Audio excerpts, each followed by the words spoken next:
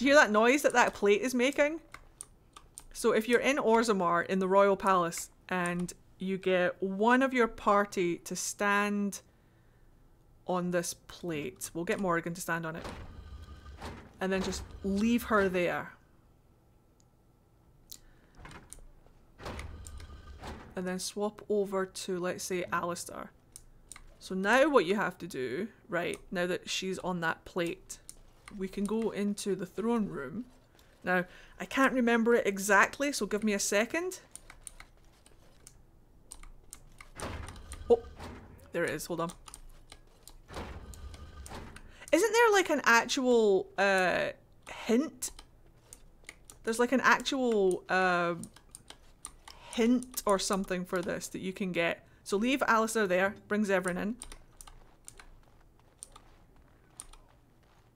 I played a lot of Rayman when I was a kid rather than uh, uh, Crash Bandicoot, but I really liked Crash Bandicoot. Cra Crash Bandicoot and Spyro was really good. So Alistair there, and Zevran there, and then we grab our Warden. It doesn't have to be these specific people, but... So that plate there. Roof Dragon initiate! And then when they're on those tiles, you should be able to interact with the throne. And I'll turn it right, turn around so you can see.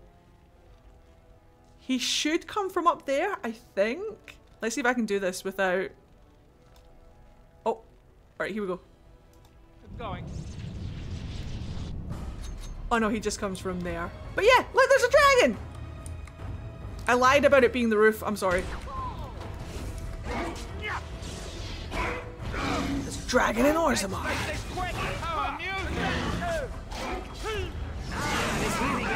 Surprise! Dragon! Ow! I'm on the table somehow.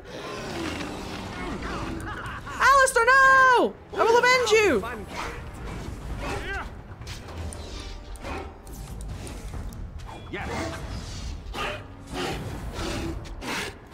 Swift kick to the nuts!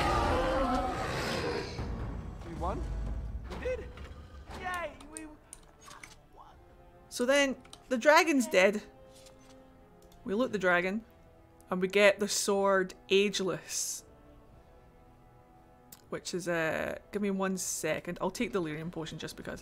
But if we go into our inventory, I think it says something. Ageless. So if we inspect it, the markings suggest many have held this blade, but their identities are not just obscure, they are forgotten completely, as if by intent.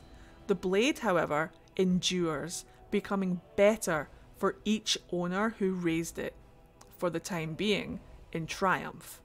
Not a benefit willingly given or easily exploited. You got this cool little sword!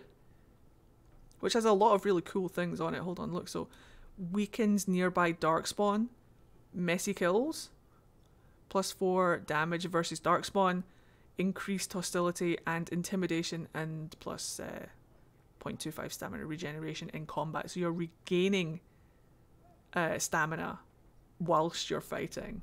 It's a good sword, and we're going to give it to Alistair. Unless it's a two handed sword, I don't think it is. It is a two handed sword we will be giving it to Sten. But it's a good wee sword, and uh, yeah, there's the there's the throne room dragon.